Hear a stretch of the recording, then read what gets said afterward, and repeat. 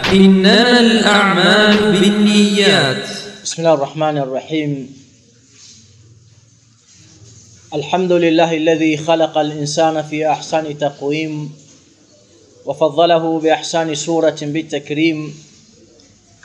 ثم الصلاة والسلام على النبي الذي أعطي جوامع الكلم وعلى آله وأصحابه والتابعين لهم بإحسان إلى يوم الدين. Assalamu alaikum warahmatullahi wabarakatuh. Utukufu wa Islam baada ya kumhimidi Allah subhanahu wa ta'ala na kumtakia rahma na amani mtume Muhammadin sallallahu alayhi wasallam.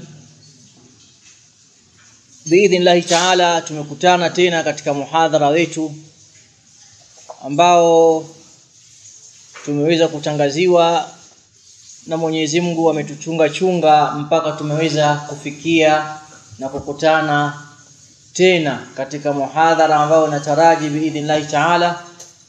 Tutakuwa na manufaa kwa mzungumzaji pamoja na wasikilizaji na kwa waislamu kwa ujumla. Nafikiri sio muda mrefu sana nilipita katika jiji la Mwanza kakutana na waislamu katika msikiti huu. Na kama itakuwa nina kumbukumbu nilizungumzia kuhusu unwani ambayo inazungumzia maeneo anayopita mwanadamu na majuto na vilio.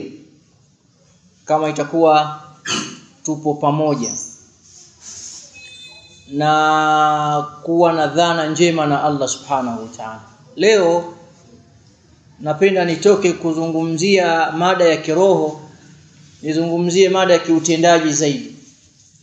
Na mara nyingi tunapoongea na watu tunatakiwa tuwalee kwenye maeneo mbalimbali maeneo ya moyo lakini maeneo ya kiutendaji.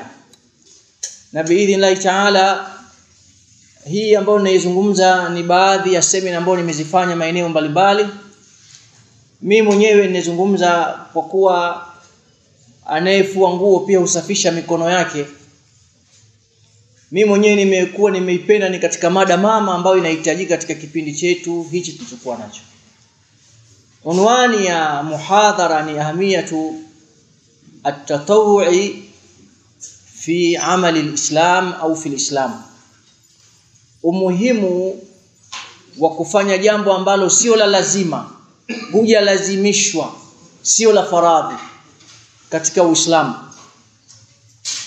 Na mimi naomba tufahamu ndugu zangu waislamu umma linamai umma wa binai umma tahtaj ila aidi almutatawwi'a ili umma uweze kupiga hatua unahitaji mikono ambayo itajituma kufanya ibada kufanya mambo ambayo sheria haijafanya kwamba ni lazima.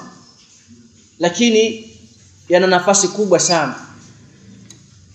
Na kabla ya kuweza kutaja muhadha unapenda kutaja baadhi ya maeneo ambayo nimeyagusa na nimeyaona. Mimi nitakupeni mfano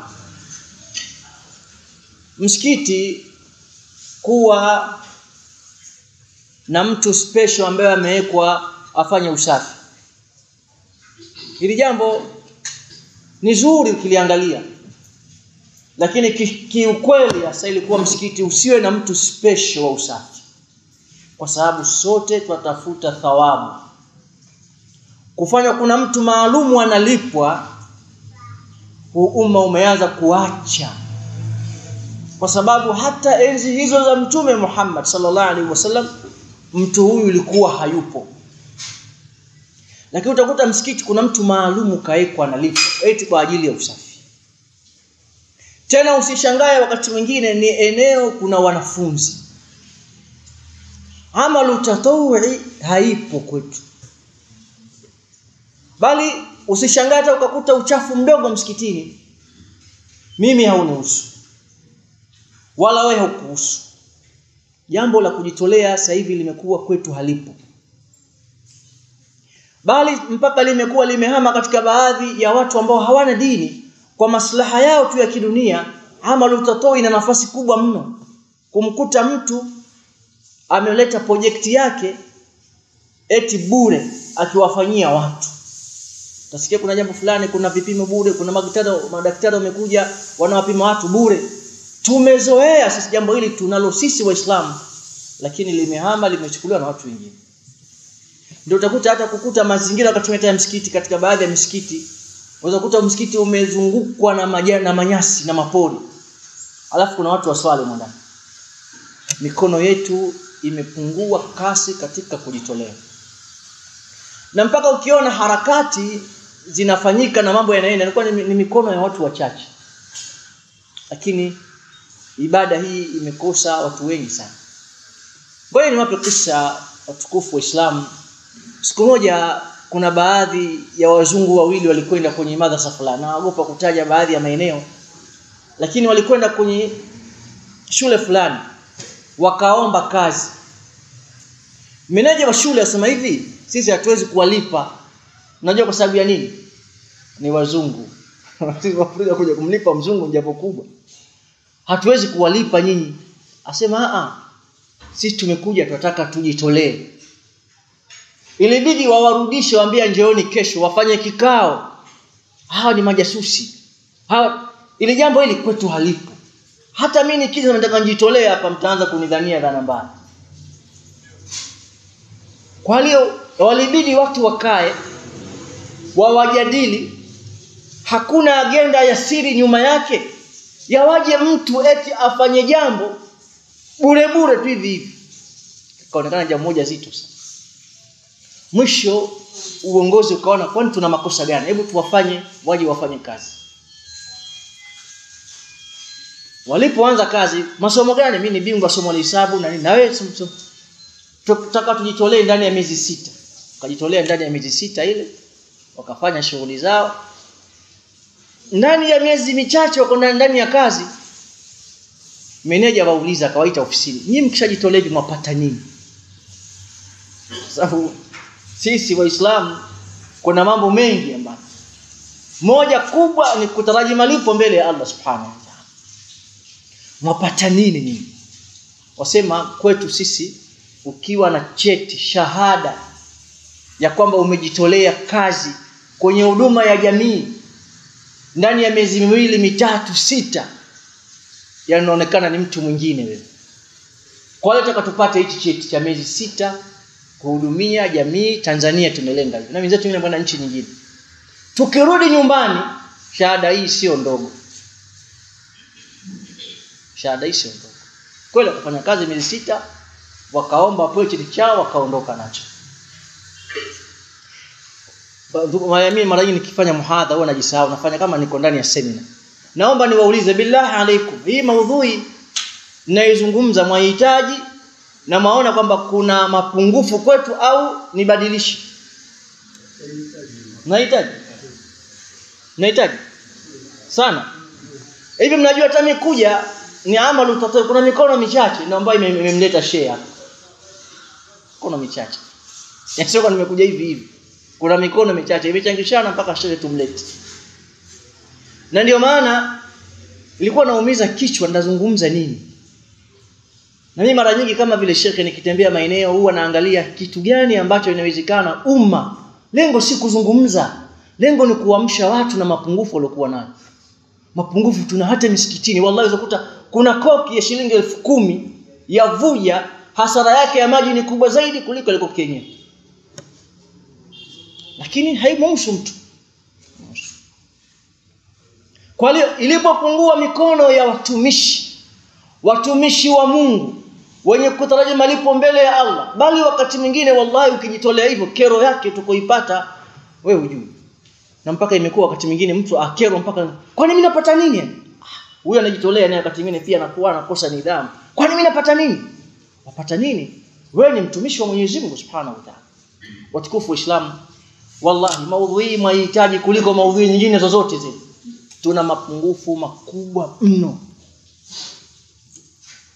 Na e, ni washukuru tu mikono ya ndugu zangu ambao wanaerusha maudhui hii mbali. Inaonekana maudhui hii inahitajika kila sehemu katika sekta za Uislamu, na nitataja maeneo ambayo yana mapungufu makubwa katika kujitolea. Watukufu Waislamu, jambo la kwanza ni ajrun adhim ala almutatawwi'in, malipo makubwa ya wale wenye kujitoa. Kuna malipo makubwa ya wale wenye kujitoa kwa ajili ya Allah, malipo yao kwa Allah subhanahu wa ta'ala.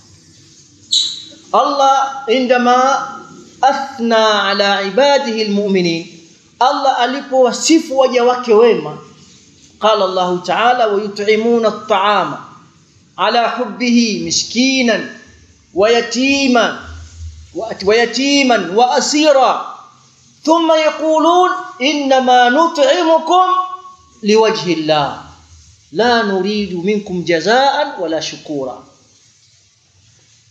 alipowasifu Mwenyezi Mungu waja wema hawa wakisema kwamba hakika hawa walikuwa yutimuna ala yutimuna taama ala hubbihi wanalisha chakula tena wanachokipenda. Ala hubbihi miskinan kitaji watu maalum. Maskini yatima na mayatima wa asira na mateka.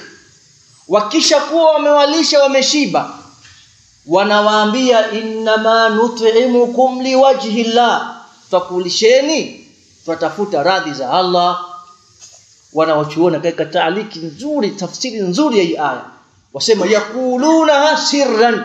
Wanasema kwa siri pia wasije wakawa juruhi hisia zao. Kwamba kuleni sisi tunataka fahamu mbele ya Mwenyezi Mungu. A yakuluna dhalika sirran. Wanasema hivyo kwa siri.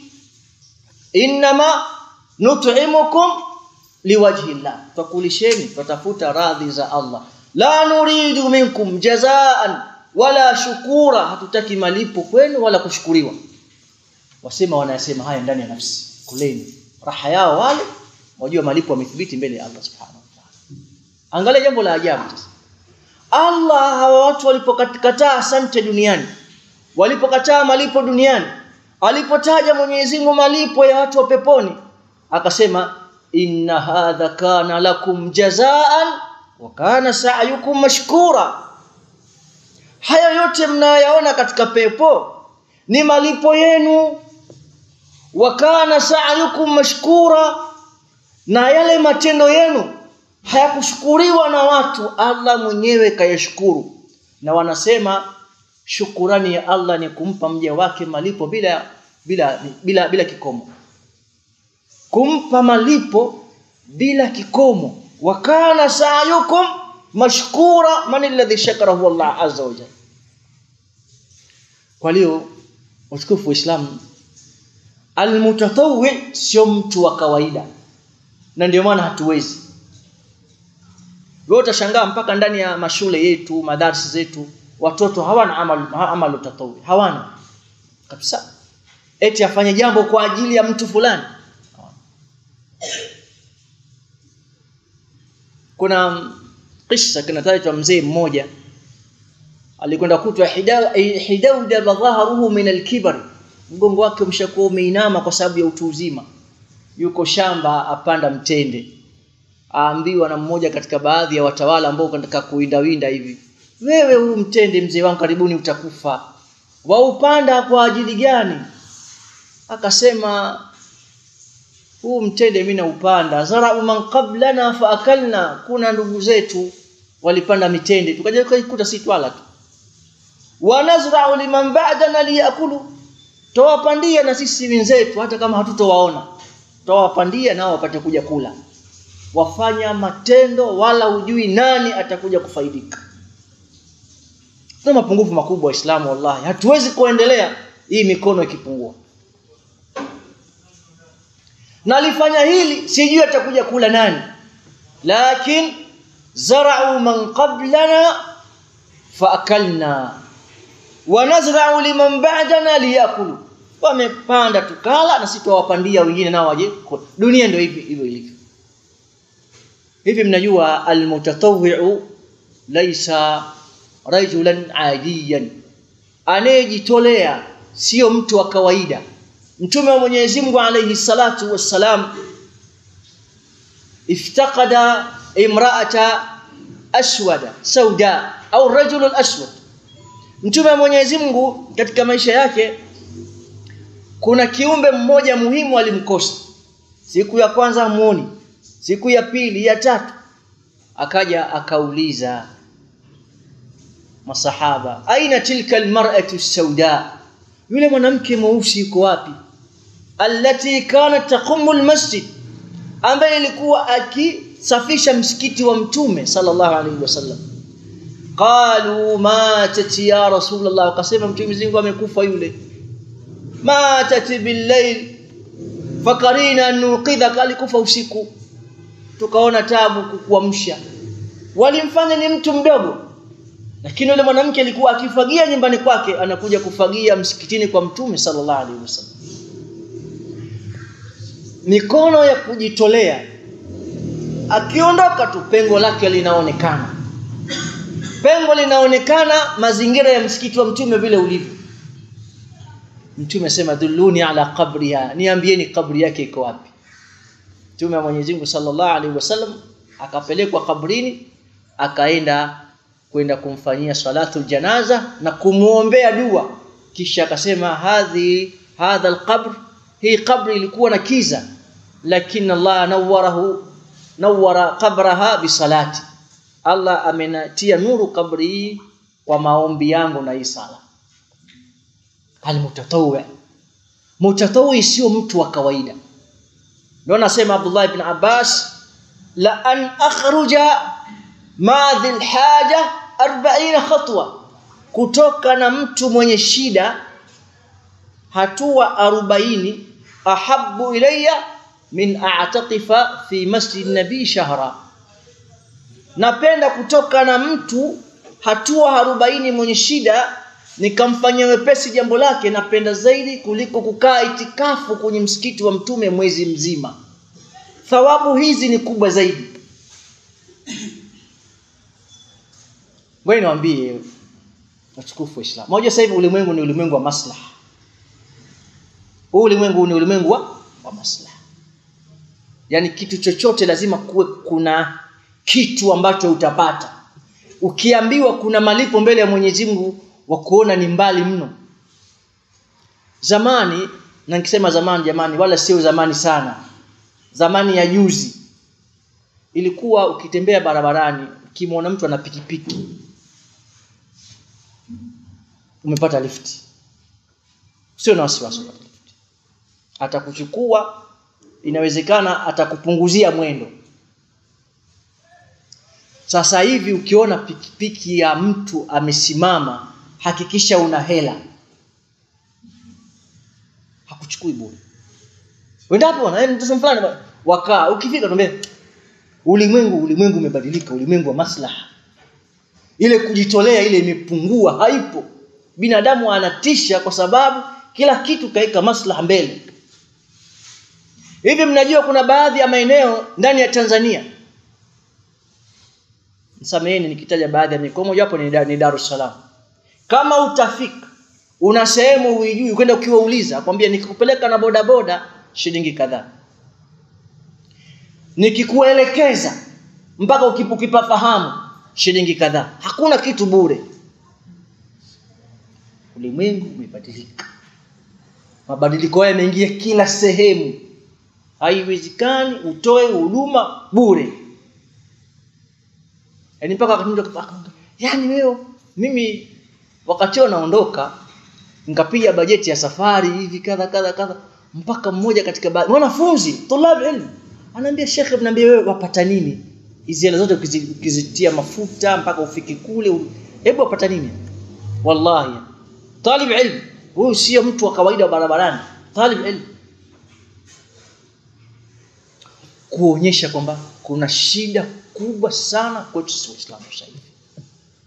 Kubwa hivyo mnajua jamani baadhi ya nchi za wenzetu mnyama tu kama atapotea basi kikosi kama cha askari au cha nini kitagharamika kumtafuta mpaka mjue iko wapi.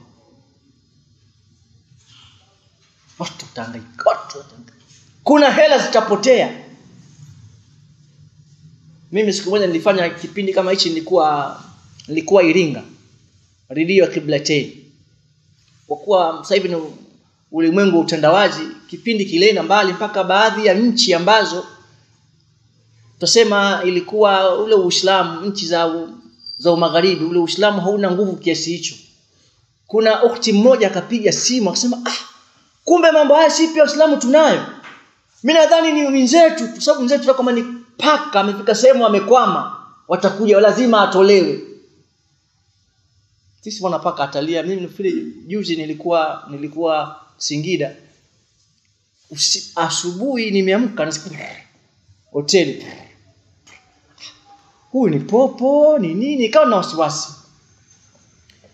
Nimeamka alfajiri nimesali bili nifungue pazia. Nikakuta ni ndege. Kaingia ingia vipi? Mpaka mimi nimtoe. Ndege akanishinda. Lakini sasa huyu mwenye hoteli nenda mkinaisha vipi mpaka aje mtoe ile huruma. Yani kuona kwamba huyu ni kiumbe au nini. Wewe niambie ma. Wallahi. Nilifikiria nitakwenda kumwambia je nimwache au nimwambie? Lakini nikimwambia atanionaje? Yani huyu mpaka akuvunjie safari mwache afe. Mazingira yetu vile yalivyo. Tatowa imepotea na inawezekana sikufichi. Hata mambo ya Mungu maslaha yamekuwa ni makubwa zaidi hata kuliko kitu kingine. Yani huku kuna jambo wakusudia umtumikie Mwenyezi Mungu. Lakini hivyo hivyo maslaha yamekuwa ni makubwa. Na jamani tutasema hivi kwamba sio ndio mtunyonye.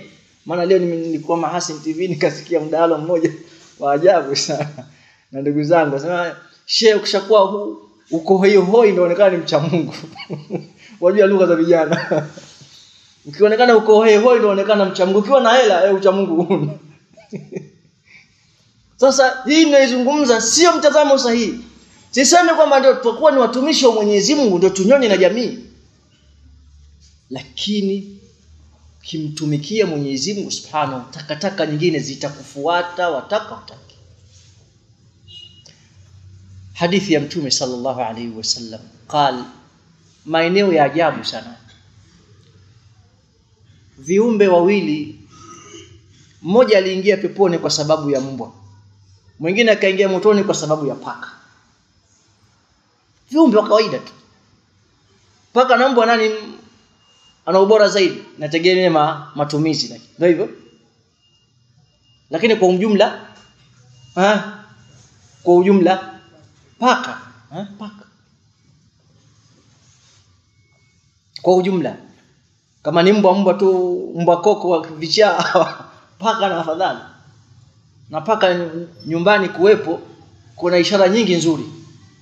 Nyingi nzuri. Bali mpaka mtume Mwenyezi Mungu anamfanya paka ni katika kama mataul bait vyombo vya nyumbani. Aliposema inna laysat binajisi inna min at-tawafina wat-tawafat alaykum. Sio najisi wale atakachokifanya chote haina shida. Naona hata kuna mmoja katika sahabi alionekana anatawadha paka amemjia akamwekea chombo akanywa mpaka alipotosheka akatawadha maji yale yale. Ambia vipi? Sema inna laysat binajis kwa maneno ya mtume sallallahu alaihi wasallam. Inna min at-tawafina wat-tawafat alaykum. Mwanamke akamuona paka. Paka kamuudhi ana mambo aliyoyafanya. Akatafuta sehemu akaenda akamfungia. Ima alimfinika na kitu au alimfunga. Habasataha falam tatrukaha taakulu min khashash al-ard wala hiya at'amatha hakumlisha wala hakumwacha mwenyewe akajitafutia riziki hata matat mpaka paka akafa qala sallallahu alaihi wasallam ra'aytuha fi an-nari wal hirratu takhdishuha nimemwona huyo mwanamke motoni na yule paka anamkwaruza makucha. Hadithi nyingine ni hadithi ya huyu mwanamke ambaye alikwenda kwenye sahara akawa na kiu akaona mbwa anaramba tope kwa sababu ya kiu. Fa ashfaqat alaiha alaihi akamwonea huruma. Akaja kwenye kisima akavua soksi zake hofu zake akaingiza kwenye kisima kana mkamulia yule mbwa. Akanywa yule mbwa mpaka akatosheka. Asema haraka dhaila. Akatikisa mkia wake riwaya ya hadithi.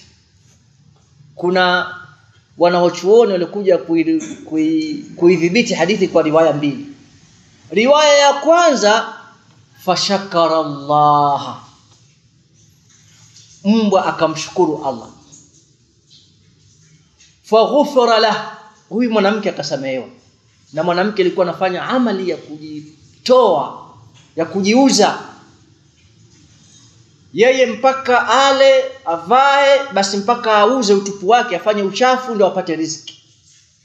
Akasamehewa dhambi zake zote kwa sababu ya mbwa kumpa maji.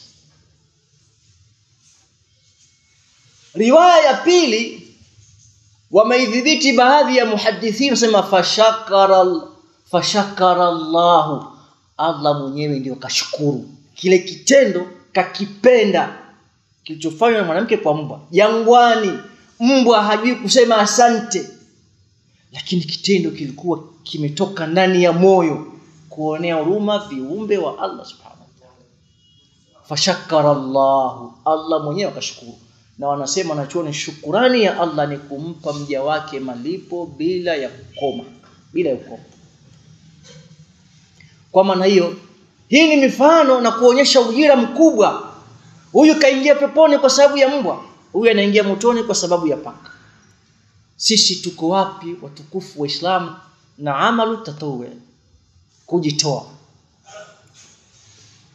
Ngoja ji jifanye tathmini wewe mwenyewe. Kumtumikia Mwenyezi Mungu ukafanya tendo basi ni miezi mitano miezi sita au ni mwezi mmoja huu mwezi huu nampa Mwenyezi Mungu. Ninafanya tatawi bure sitaki chochote naekeza kesho. Ngoja nianze wale wa mwezi mmoja ambao walishafanya hivyo. Mwezi mzima huu huu nampa Mungu. Kwamba najitoa mimi. Naenda sehemu fulani. Hapa jamani mimi nitakuja kuja kujitolea hapa. Nini bwana mimi nitakajitolea nifanye usafi fanya usafi hapa msikiti mwezi mzima. Ngoja niwaambie tukufu Islam. Mwenyezi Mungu alivyowaita watu kujitolea aliwaita kila watu kwa ustubi maalum. Alipowaita wakulima kujitolea akamwambia mathalu alladhina yunfikuna amwala fi sabilillah kamathali habba. Wale ambao wanatoa mali zao katika njia ya Allah ni kama mtu ambaye anayepanda hawa ukiangalia taswira hii mkulima ajue hela. Mkulima ajua mazao. Wale kamathali habba ambata sab'a sanabil. Fi kulli sumbulati mi'a habba. Wallahu yudha'ifu man yasha. Wallahu wasi'un alim. Kila shuke moja kuna tumba mia. Akiangalia kuna zaidi ya hizo. Kwa hiyo Mwenyezi Mungu anapomfanyia taswira mtu kujitolea akimuelekeza mkulima kwa sura yake anayoifahamu alipokuja kwa wafanya biashara ambao wanaona mali inakuwa kwa haraka kwa riba qala Allahu ta'ala yamhaqu Allahu riba wa yurbi sadaqat. Riba Mwenyezi Mungu anaisaga saga lakini sadaka Allah anaingiza riba. Yurbi sadaqat. Ufahamu wake wa kujitolea unakuwa mkubwa zaidi kumbe napata malipo makubwa zaidi. Alipokuja kwa mabakhili akamwambia ma indakum yamfadu wa inda Allah akamwambia toeni. Ambia mlivyokuwa navyo mmevizuia vyapotea. Mkimpa Mwenyezi Mungu vitabaki. Kama vile si mwapenda kuweka nyinyi keni kwa Mwenyezi Mungu. Kila mmoja akaambiwa katika sura yake ambayo inawezekana kiakili ataweza kufahamu. Hivi mnafahamu watukufu waislamu amalu tatawui katika maeneo ya miji ya Kiislamu inadhoofika siku hadi siku. Siku hadi siku. Na mimi nikisema muhadhara kama nilivyokuambia ni muhadhara wa matendo. Nataka udhamirie. Ukiondoka hapa utaufanya nini Uislamu? Bure. Uchume. Basi kama una nguvu na mimi nitataja baadhi ya maeneo ambayo ndani ya muhadhara nitataja maeneo ambayo inawezekana maeneo hayo ukatafuta. Eneo gani mimi nitafiti kwenda kujitoa kwa ajili ya Allah subhanahu wa ta'ala. Ukafanya takhsisi kwa wiki siku ya Jumamosi au kwa wiki siku ya Jumapili kafanya ba mimi nitafanya siku moja siku mbili kadri ya uwezo wako Allah ambao umekupa. Na wallahi mikono ikiwa mingi ya wenye kujitoa jamii itafaidika sana na ni dawa ambayo itawafikia wengi kuona Uislamu namna gani wanavyojitoa watukufu Waislamu nikimalizia katika eneo la kuonyesha ujira mkubwa wa mtu kujitoa. Pale mtume aliposema sallallahu alaihi wasallam ma min muslimin yaghrisu gharsa au yazra'u zar'a. Hakuna muislamu yote anayepanda mti au akapanda vyakula fatakulu minhu at-tayr wakaja ndege wakala. Au bahima au wakaja wanyama au wadudu illa kanat lahu alayhi sadaqa. Isipokuwa anaandikiwa malipo na Mwenyezi Mungu Subhanahu wa Ta'ala. Wewe hupendi kaja nyani kala huyu hivi kadha kadha umemtilia madawa apata thawabu. Yote ni kufanya ulimwengu ufaidike na tatawi za watu na matendo ya kujitolea kwa watu.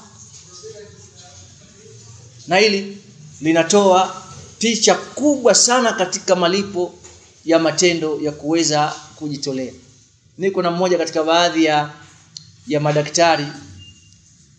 Ilipotokea ndugu zetu wa Palestina wamepigwa sana ilikuwa mwezi mtukufu wa Ramadhani mwaka juzi.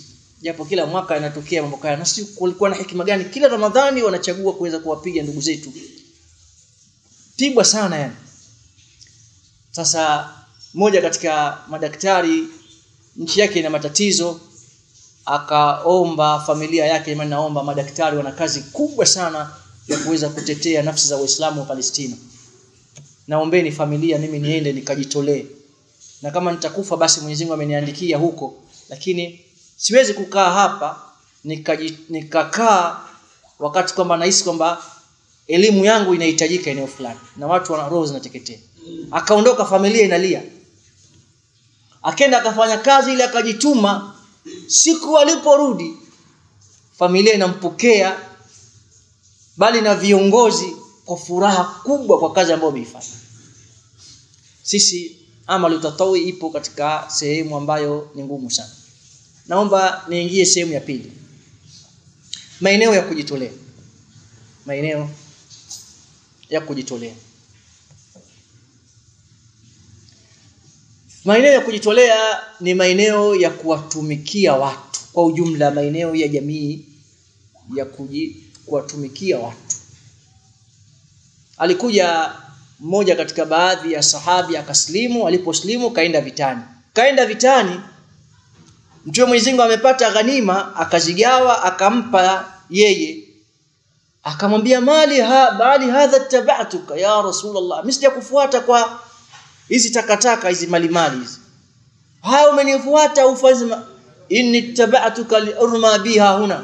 Mimi nimekufuata nipigwe hapa nife nipate shahada hapa. Mtume akasema kama ni mkweli basi Allah atakupa tutaona ukweli wako. Masiku yamepita mtume kaingia kwenye vita vingine akaingia vitani akapigwa mshale eneo lile lile ambalo kaashiria. Mtume Mwenyezi Mungu akasimamia mazishi yake yeye mwenyewe akasema wallahi ilikuwa ni mkweli na Allah akatuonyesha ukweli wake.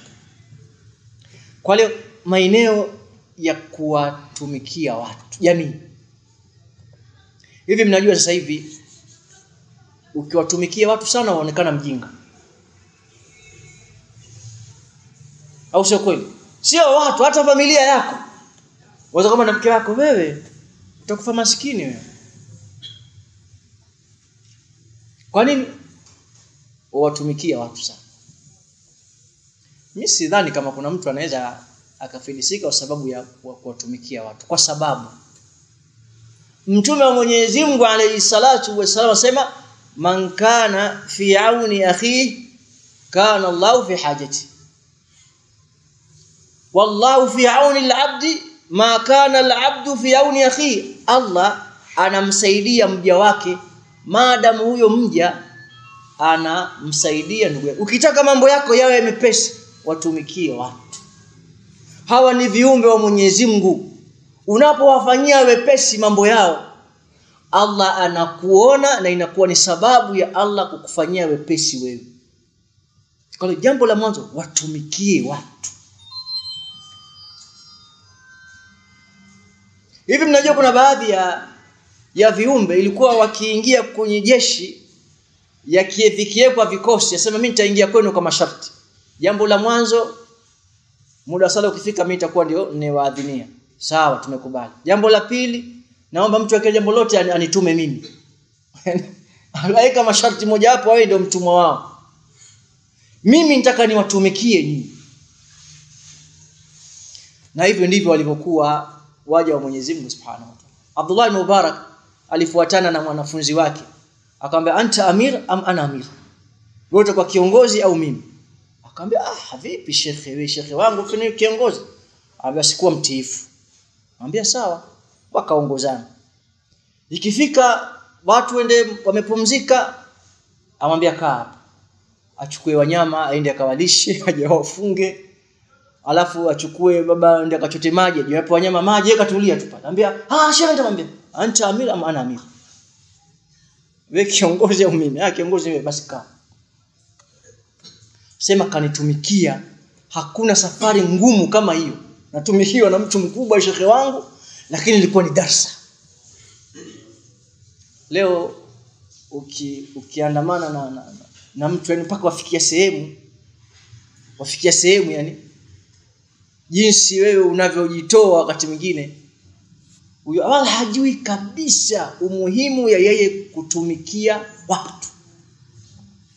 Kuna kisa nakikumbuka katika miaka ya zamani kidogo. Tulipita barabarani tukakuta kuna mtu mmoja kaeka mzigo wake na ulikuwa mzigo sio mdogo.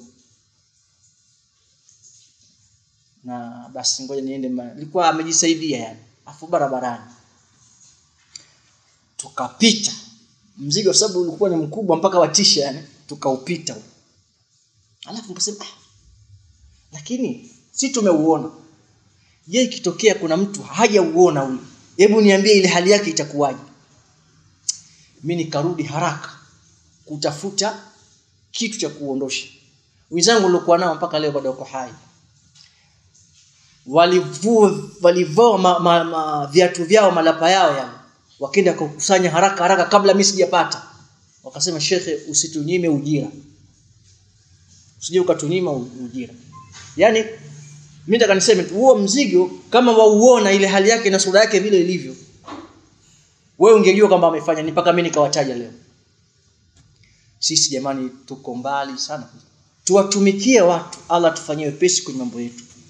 Wallahu fi auni al-abd ma kana al-abdu fi auni akhihi. Allah humsaidia mja wake anapokuwa mtumishi wa watu. Hivi unajua kuna kiumbe alisamehewa na Allah?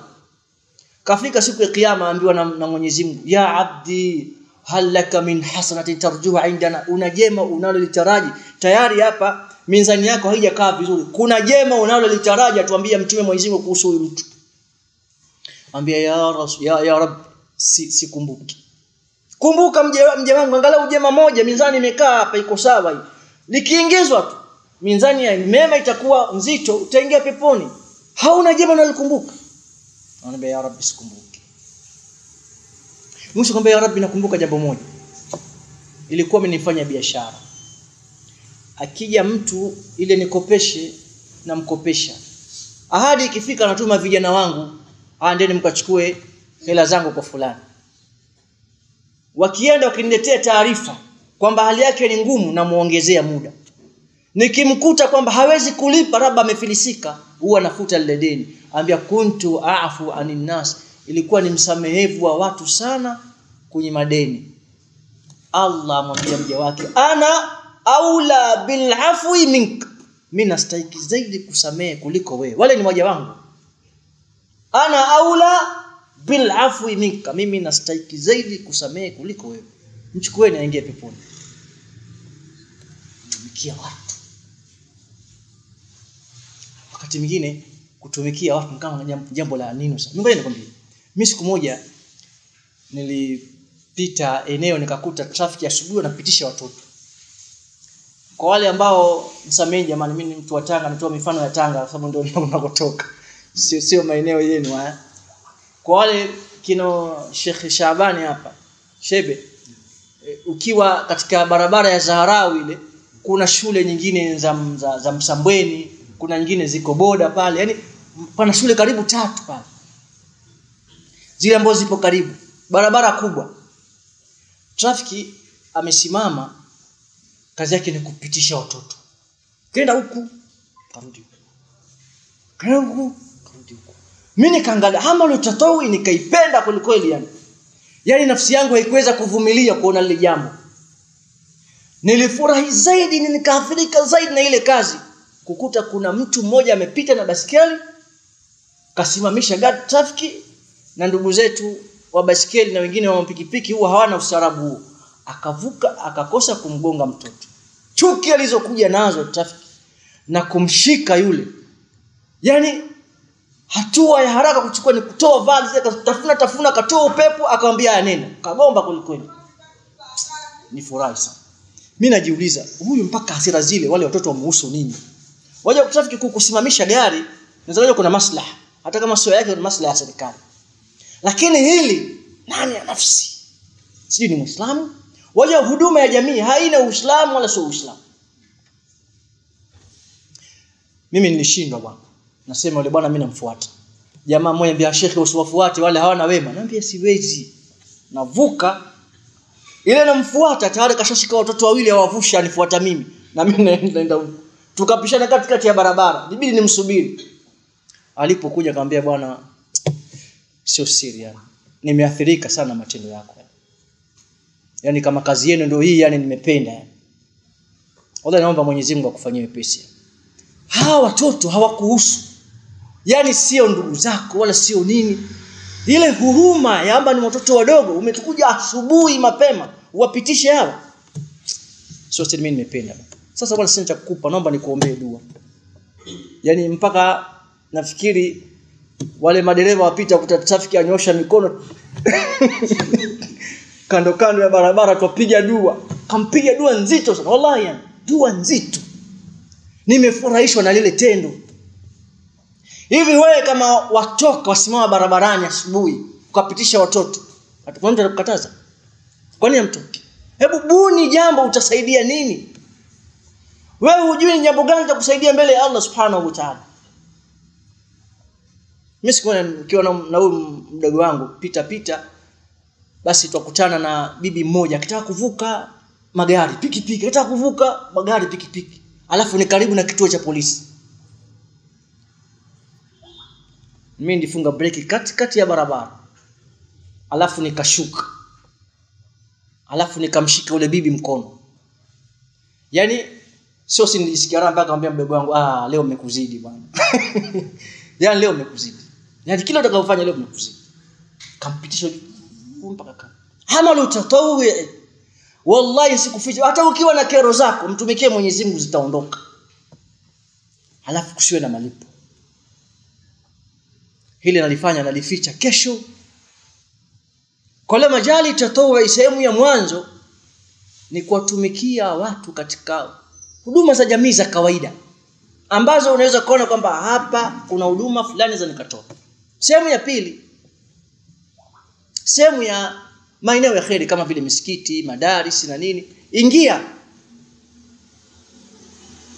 Yani kama hapa msikitini ngoja muuze imam. Imam mna mtu maalum wa kusafisha hapa. Mnamlipa.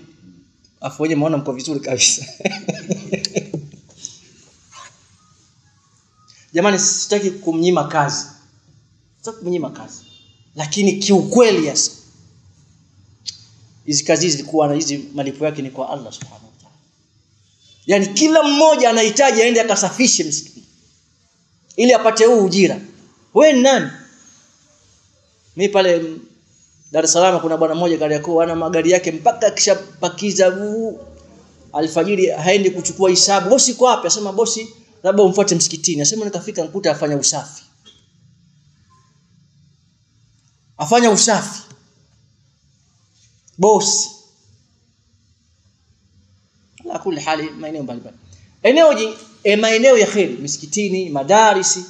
Haya ni maeneo ambayo unaweza ukatafuta wapi pana nafasi yangu mimi kama mimi nipo nikaweza kuji kujitolea. Mimi wallahi na mambo mengine mambo yangu nimeyaficha. Lakini wallahi wakati mimi nadharika kuweza kuyazungumza angalau ku, kutoa mazingatio kwa kwa watu. Kutoa mazingatio kwa watu. Na kuna ladha fulani ambayo una, unaipata. Ukiamka asubuhi wasema nenda mtumikia Mwenyezi Mungu Subhanahu wa Ta'ala. Bure malipo kwa Allah Subhanahu eneo la tatu ni eneo la afya. Kama wanavyofanya ndugu zetu wajai eneo la afya. Hivi mnajua mgonjwa jamani unaweza ukamchukua kwa haraka sana. Mgonjwa anameza dawa chungu. Mgonjwa anatafuta hela zake zote aziingize kwenye dawa. Moyo wake unasikiliza, nani atakayemfariji jai wamegusa eneo moja zuri sana la huduma ya afya sana. Na hii takriba inawezekana watu wengine hawajui na wengine wanapiga vita lakini wallahi wamegusa eneo kubwa. Na mimi mwanzo yaanza nisema kwamba taasisi hii itafika mbali sana na matunda yake yatakuwa makubwa mno na ni kweli taasisi ambayo imekuwa kwa haraka sana. Nadhani mpaka Mwanza hapa ipo. Ndio hivyo? Huduma la huduma ya afya. Kujitoa katika haya maeneo. Ukafika mimi siku moja nilikwenda kukuta bwana mmoja amlisha mgonjwa. Kwanza mgonjwa mara nyingi kuna baadhi ya familia kushakuwa mgonjwa bwana yeye kila kitu jitegemea mwenyewe. Kaenda mpaka amekuwa ni mchafu kweli kweli. Vijana wakamchukua wakaenda kumuogesha wakamtafutia nguo wakamvisha nguo safi wakamtafutia chakula wanamlisha. Yani jinsi alivyokuwa na furaha. Wewe unajua kuingiza furaha kwenye moyo wa ndugu yako kuna malipo makubwa sana. La si yaman huyu. Na mtume asema bughuni dhuafaakum fa inna ma tunsaruna wa turzaquna bidhafaikum. Patilizeni wanyonge wenu. Allah anawapa riziki na anawapa nusra kwa kuwasaidia wanyonge. Eneo la nne mimi nimekaa na nasoma. Nimekumbana na kijana. Kijana wengine watoto wa ajabu hakika. Mazingira yao kule kujitolea nilipata homa nikawa nimeroweka nguo. Nikashindwa kuzifua siku ya kwanza ya pili nguo ziko chooni nikaenda chooni nikaenda chooni nazikuta. Baada ya muda fulani nimeenda chooni nguo sizioni. Kumbe kuna mwanafunzi mmoja akachukua zile nguo kazifua katafuta sehemu ya siri nyumba ya gorofa kubwa katafuta sehemu kwenda kazianika zimekauka kazipiga pasi kavizia mimi nimekuja kuteremka chini kuswali ndio kazipeleka juu. Nimekaa muda mrefu simjina nikafanya hivyo. Tatoe. Unapata malezi.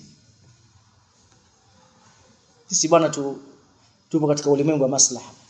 Kila kitu he nitapata nini wakati mtume ambaye wala tamnu tastakthir usitoe kidogo ukataraji kikubwa. Kwa mikono kama mikono ya watu? Watukufu wa Islam nimalizie muhadhara wetu kutokana na muda na wengine wanaenda mbali. Na jeshi la Mwanza sijui vile lilivyo. Naomba nimalizie huu muhadhara na baadhi ya matukio makubwa sana ambayo yametikisa moyo wangu hasa katika amalu tatawwi pamoja na ambayo nimeyataja napenda nihitimishe na matukio haya.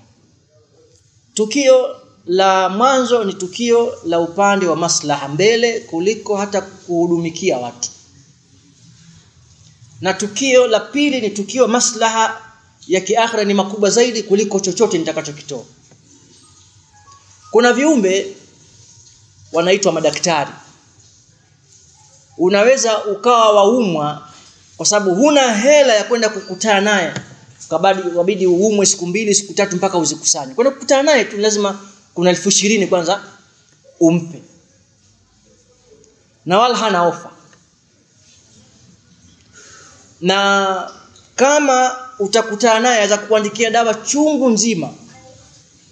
Na inawezekana pia hizo dawa zingine zikakuua pia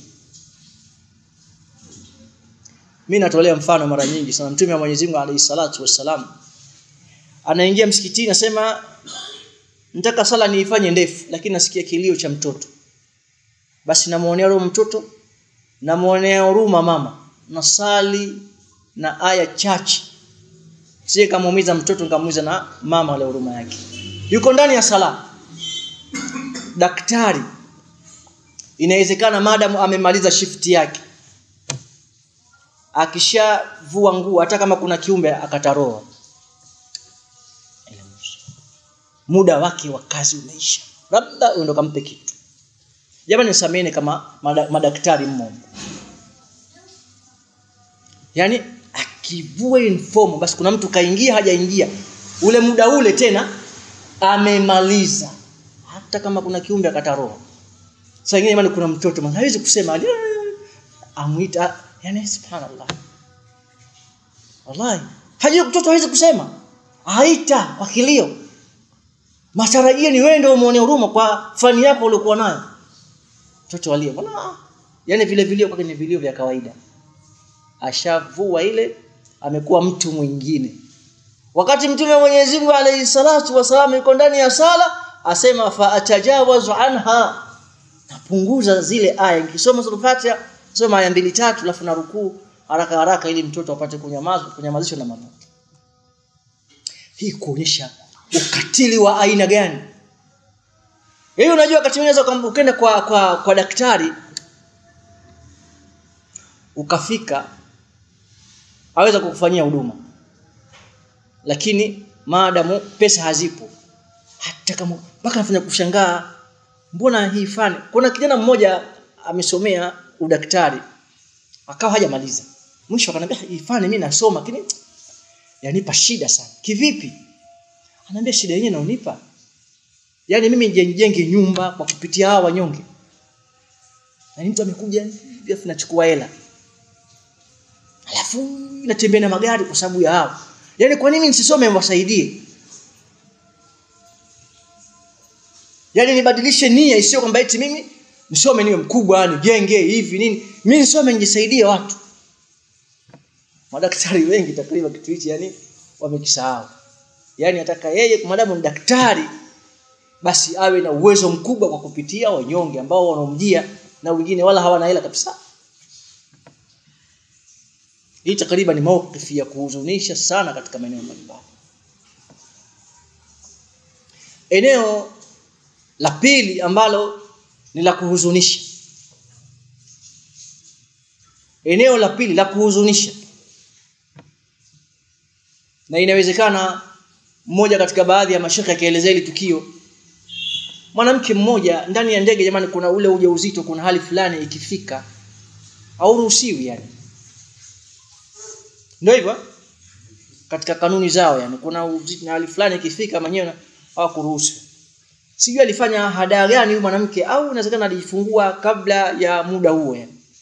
Basi akasafiri katokea shida fulani yuko angani ataka kujifungua. Basi waliokule ndani na nini hivi kadha wakaanza kugomba na nini hivi kadha. Akajitokea mmoja katika baadhi ya wakristo masista wale kenda kabeba lile jambo kama la kama ndugu yake. Huku kwa jina utazaa kwa jina la baba na nini hivi kadha. Yani huruma ile ambayo ameipata yule mwanamke. Unajua mpaka alipojifungua mtoto alimuuliza aitwa jina gani? Ili mtoto achukue jina la yule kasisi sister hizi huruma zinazobebwa upande wa pili hata kama zina uongo zina maslaha fulani kwetu zina mapungufu. Yaani ali, pamoja na mwenye kavaa vizuri hakuogopa kuchafuka. Hakuogopa kuchafuka. Akamtumikia mpaka jambo likamaliza vizuri pale kikubwa akateka moyo wa mama akateka moyo wa mtoto na sidhani kama baada hapo mama kwamba hakurtadi. Sababu tukio limeteremka baada ya pale tukushuka kama ni mambo mengine kila moja na kwake asema ni tukio ambalo limeniathiri sana. Lakini tukio la upande wa pili ambalo ni zito mno la masala ya mtu kuweza kujitoa na kuweza kuyafanya mengi mazuri kwa ajili ya kumtumikia Mwenyezi Mungu Subhanahu wa Ta'ala. Ni tukio la baadhi ya waja wema, mojawapo akiwa ni Abubakar Siddiq radhiallahu ta'ala anhu. Alikuwa na idadi ya watu katika majali yake ya kusaidia posho yake anaipata, kuna baadhi ya watu inakwenda huko, bali mpaka wengine wakaja kaingia kuja kumtukana Aisha radhiallahu ta'ala anha na akasema Abubakar wallahi la umfika alai abada sitoacha ku manake sitompa tena. Nimpe ashibe mtukanie mwanangu. Zikashuka aya kamwambia Abubakar ala tuhibbuna yaghfir Allahu lakum? Hivi ampendi Mwenyezi Mungu awasamee nyinyi? Akasema bala uhibbu an yaghfir Allahu ninapenda Allah nisamee kwa hiyo sitoacha kumpa tena. Nitaendelea kumpa. Kumbe kila nikifanya hivi Mwenyezi Mungu anasamee sitoacha kumpa tena. Ikawa ni sababu ya Abu Bakari kuweza kupata malipo makubwa kwa kuweza kumsaidia mtu hasa mtu ambaye unayemsaidia katika masala maisha yake. Lakini bila Abu Bakr ilikuwa jirani zake wale kabla hajapata ukhalifa tu Mwenyezi Mungu yuko hai. Ilikuwa asubuhi akikama wanyama wake anawaambia majirani basi wale ambao hawana watoto wa kiume au vipi walete pale aje wakamie maziwa. Mpaka Abu Bakar alipopewa utawala majirani sema ah sasa hivi hatumpati tena akasema siwezi kuacha jambo ambalo kwa nilifanya ikawa kila asubuhi akishatoka msikini anakama maziwa wanyama wake na wanyama wa majirani. Mimi siku moja nilimwambia bwana mmoja hebu nilimie nyumbani hapa. Basi kaja kalima ile nyumba. Kuna manyasi machache tu nyumba ya jirani kayaacha mpaka sema subhanallah. Yani watu wana akili fiti hizi hizi ajali kwani nyoka kama ataingia hapa mimi aniusu yani tukoje? Tatawui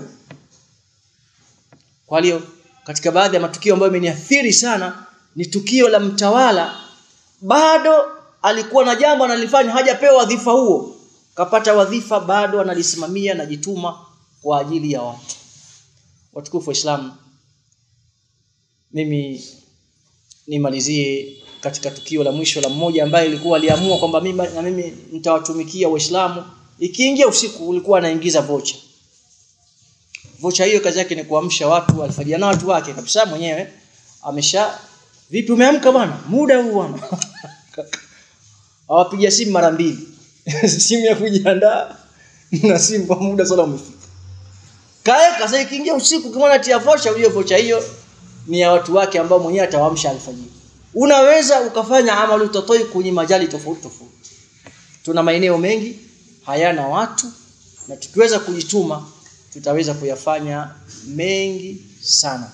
Naomba niishie hapa. Watukufu wa Islam na biidhnillahi taala tutachukua muda wa adhana alafu tajibu maswali matatu kama itakuwa yapo. Lakini washukuru sana nikiwaomba tu baada ya muhadhara huu kila mmoja adhamirie nini atafanya kwa sababu inawezekana mikono michache hii ndiyo ambayo imenifanya mimi nimefika hapa leo hamasa shekhe lini? Shekhe kadha leo hivi leo kadha mpaka juhudi zao ambazo wameamua kuzifanya imeonekana mimi niko hapa leo. Nitafaidisha waislamu kama nilivyowafaidisha.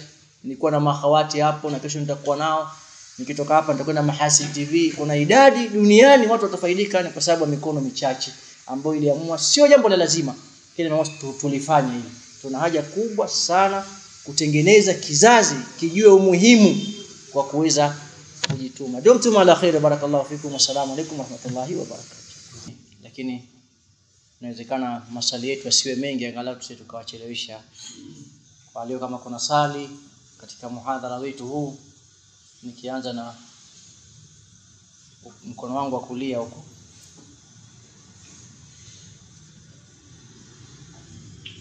Nimekuona nakuja.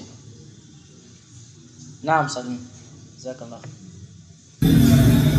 nilikuwa naulizia kuhusu kusema kuhusu kujitolea. Kuna dhana hiyo kwamba ndugu zetu tablighi wale wanapotoka na kwamba kitoka je, na ile ni katika kujitolea, kwa sababu anasema kwamba tuwe kwa ajili ya Allah ni lengo lako kwa kwa ya familia kufanya darsa mihadhara nini Wasalati tumetoka, tumetoka.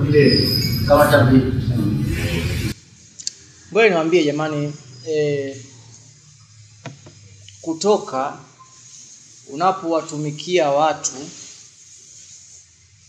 Hivi, mnajua kwamba Nabiullahi Musa alayhi salatu wakati anakimbia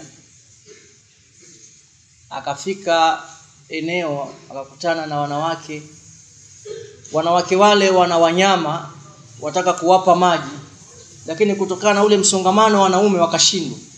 Nabiullahi Musa kwanza ana hofu ana njaa lakini akasahau yale ya kwake kachukua wale wanyama akawapa maji. Alipowapa maji alafu wakaondoka. Hakuhitaji malipo. Aliwahoji tu ma khatbukuma kuna nini? Mbona wanyama mnawazuia? Sema hatuwezi kuwapa wanyama maji kwa sababu msongamano ya wanaume.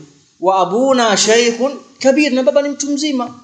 Fasaka uma thumma tawala ila dhilli akawapa wanyama maji kisha akapumzika. Angalia baada ya kufanya hili alipata ajira hofu ikaondoka na akapata mke. Yani jambo ukiliangalia ni maana wale ndio walipeleka habari kwa baba. Baba ule mwajiri ni mbora.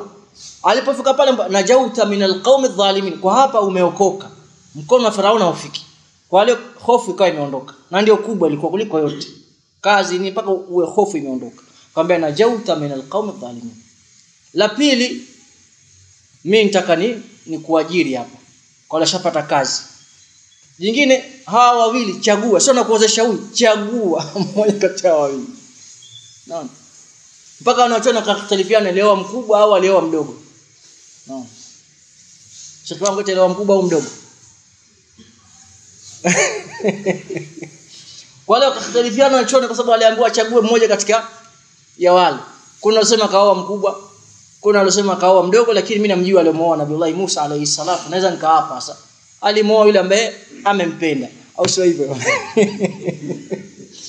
Kwa hiyo amalu tatawi ikaweza kumuondoshea matatizo mengi aliyokuwa nayo. Wajua kanaweza kwa una una hofu una nini una kadha. Tumikia watu tumikia jamii wallahi Allah atakuondoshia sasa Sheikh asema masala ya kutoka. Kutoka kwenda kusomesha kutoka kwenda kufanya mihadha kama tulivyotoka sisi mathalan. Masafa ya mbali. Kutoka Tanga hapa kuja huku sio sio karibu. Kwa hiyo toka hii naam nitatawe ni kujitolea yani kila utakavyofanya yani gharama yake huiwezi. Kwanza kule kukaa mbali tu na familia yako sio jambo dogo. Sasa nani katoka ametoka siku ngapi atajua yeye mwenyewe. Lakini kwamba toka hasa ikiwa kwamba mkusudia Mwenyezi Mungu ina malipo makubwa sana. Mwenyezi Mungu amezungumzia yule anayetoka mimbaiti muhajiran ila Allah thumma yudhriku al-maut ahama kwa ajili ya Allah kisha akafa njiani. Faqad waqa ajruhu Allah malipo amethibiti kwa Allah subhanahu wa ta'ala. Yule aliyeua akaambiwa ahame atoke katoka kafika njiani kafa. Ile baraka ya kutoka na tauba aliyoifanya ikawa sababu ya kusamehewa madhambi yake. Pamoja tauba kwa ameshafuta makosa. Ala kuli hali kuna mambo mengi sana kuonyesha kutumikia jamii. Na swali la, la pili katikati hapa.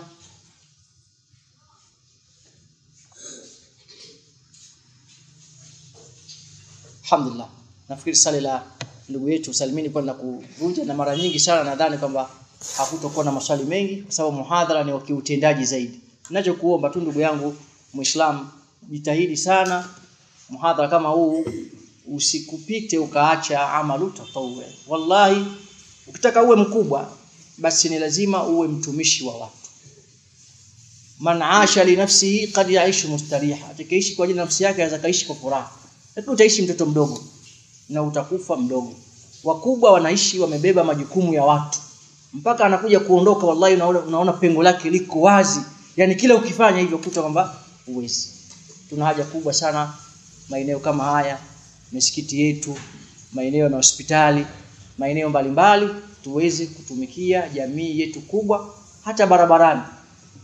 Barabarani kuweza kutumikia hata watoto wetu tunapita barabarani siku za shule asubuhi ukana umesimama una kijiboksi chako umekiandika stop wamnyoshia mtu tu asubuhi baada hapo watu washaingia mashule wafanya kazi zako nyingine. Hakuna shida. Shekhe hii pia kushinda. Ah, unaiweza. Naam basi. Pita barabara tu asubuhi mama. Hapa pana shule hapa hapo. Hapana mtu ku- watoto wazapata fika asubuhi mimi nasimama. Huu taratibu tuna na bodaboda basi. Maana bodaboda mashallah. Wiki hii bwana watoto wanapita wakishapita ili mradi mpaka muda wa shule ukishamalizika ule umeingia mashule wafanya shughuli zako. Na wallahi utakuwa na malipo makubwa sana. Lau kila mmoja aondoka hapa na maudhui akaingiza kwenye utendaji nadhani huu mji wa Mwanza utaweza kubadilika. Mkifanya watu wachache mji utabadilika. Nawashukuru sana tukishukuru uongozi wa msikiti tuwashukuru pia waumini wa Masjid An-Nur kwa kunipa fursa hii kwa mara nyingine kuongea na Uislamu. Jazakumullahu khairan sana wa barakatuh